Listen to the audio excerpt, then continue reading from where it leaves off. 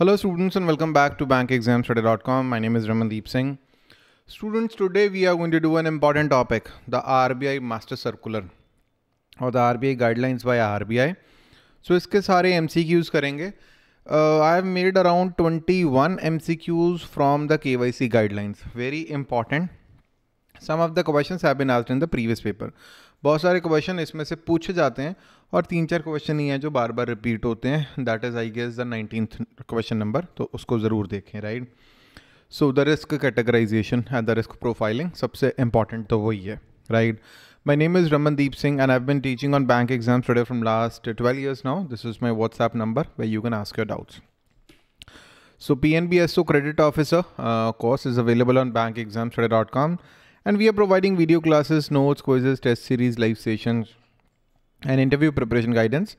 Link to join the course is available in the description. This is a list of our successful students, especially the PNBSO Credit Officer 2023 students. तो जो PNBSO Credit Officer में पास हुए थे हमारे students पिछले साल तो वो सारे students हैं ये So all these students they took our courses in the past and they cracked their respective exams and I'm really really happy for them right तो start करते हैं with question number one okay What is the full form of F A T F बहुत बार ऐसे होता है कि ये बेसिक क्वेश्चन एग्ज़ाम में आ जाते हैं कि एफ़ ए टी एफ़ की फुल फॉर्म क्या है। सो so, इसकी फुल फॉर्म है financial action task force so money laundering और टेररिस्ट फाइनेंसिंग को कॉम्बाट करने के लिए एफ़ ए टी एफ़ का गठन किया गया था। So F A T F it is an intergovernmental body that set standards for combating money laundering and terrorist financing financial action task force, very important question. Two types of reporting requirements are there to comply with KYC guidelines. The cash transaction report दस लाख के ऊपर की transaction की report करनी होती है plus the suspicious transaction report the S T R C T R and S T R R the two report so please remember that K Y C guideline के under two types के record जो reports हैं the C T R and S T R C T R cash transaction report S T R suspicious transaction record report okay what is the name of online platform that R B I set up to facilitate the reporting of suspicious transaction by the regulated entity regulated entity E Suraksha portal पे जो है update कर सकते हैं। The suspicious transactions वहाँ पे अपनी ये दोनों रिपोर्ट्स जो हैं the cash transaction report and suspicious transaction record ये दोनों फ़ाइल कर सकते हैं right? E Suraksha is the name of the platform. Please remember that. ये बहुत बार एग्ज़ाम में क्वेश्चन आ चुका है बहुत इंपॉर्टेंट है। What is the name of document that contains the basic information about the identity, the address, uh, or the proof of identity or address of a customers uh, while that the customer opens their account with the bank. तो उस document को बोलते हैं officially valid document या O V D very popular and what is the term use to describe the process of verifying the identity of an existing customer at the periodic interval based on the risk category of the customer that is periodic updation risk category that is more important what are the factors that determines the risk category of a customer the nature of the business activity the location of customer and his clients the modes of payment the volume mode of payment in case it is cash volume कितना है turnover का social financial status क्या है type of account क्या है frequency of transaction source and destination of funds if it is out of India relationship with the bank all that matters तो इससे आप रिस्क कैटेगराइजेशन करोगे। What is the minimum period for which record pertaining to identification of customer and the transaction should be preserve by the bank ten years from the date of cessation of account based relationship account बंद होने के दस साल तक भी bank को आपके सारे के वाई सी की डिटेल रखनी पड़ेगी। मिनिमम टेन ईयर्स तक बैंक सारी डिटेल्स रखेगा। Very important question What are the three level of customer due diligence measures that banks have to apply depending upon their risk category of the customer? Simplified, normal and the enhanced. Okay.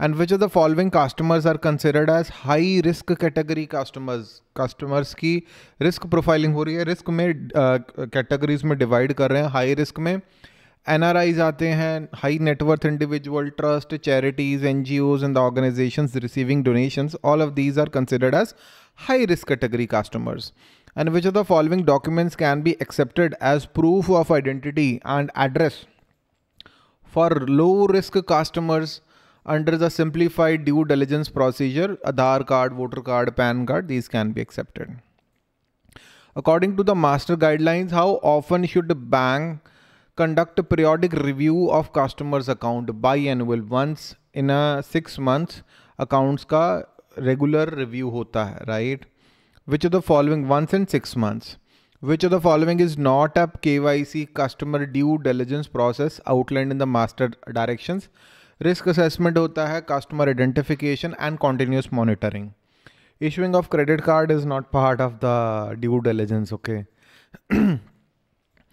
the master direction KYC guidelines applies to which of the following entities? All regulated financial institutions जिसको भी RBI regulate करता है, वो सारी institutions पे ये guidelines लागू होती हैं।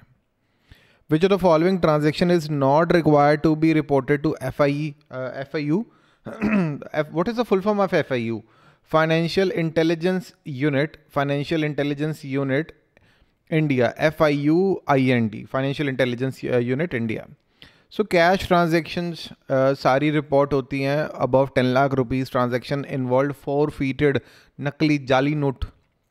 Cross border wire transfer भी यहाँ पे रिपोर्ट होती हैं। Transaction involving foreign exchange is not necessarily reported okay A A जो ए बी और डी है रिपोर्ट होती हैं सी नहीं होती है okay okay?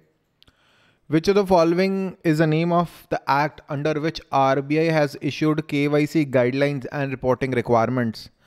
Prevention of Money Laundering Act 2002 इसके अंडर ही आरबीआई ने अपनी गाइडलाइंस जो है इशू करी हैं 2016 में।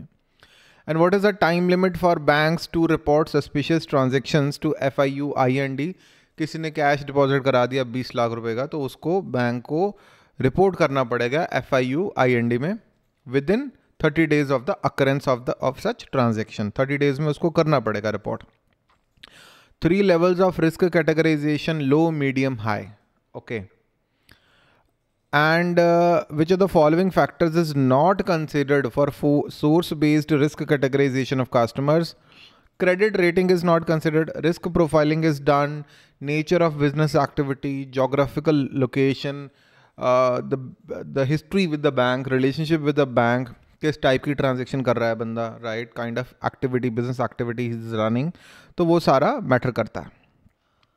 Which are the following factors are not considered for event based risk categorization of customers is not considered? Net worth is not considered. If he has committed any fraud money laundering करी है कोई terrorism uh, financing वगैरह कुछ करा है तो that is considered minimum frequency of review of high risk customer high risk customer के K Y कितनी फ्रीक्वेंसी में जो है दोबारा से वेरीफाई होते हैं, दोबारा से रिव्यू होते हैं once in two years high risk वाले।